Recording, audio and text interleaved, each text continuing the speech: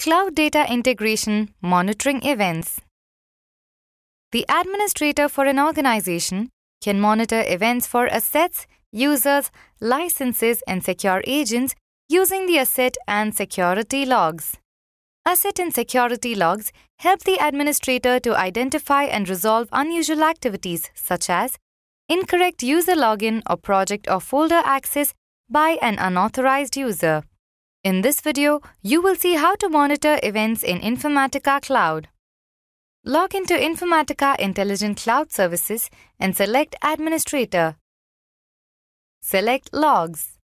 In the Asset Logs page, Username column specifies the user details.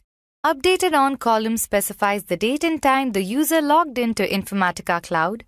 Object name and object type columns specify the object details and event column specifies the type of operation that was performed on the object. Now, click the drop-down next to Asset Logs and select Security Logs.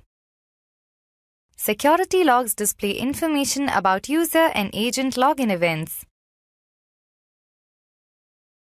Asset and security logs display information about events for assets, users, licenses, and secure agents. The administrator can use the asset and security logs to identify and resolve unusual activities in the organization.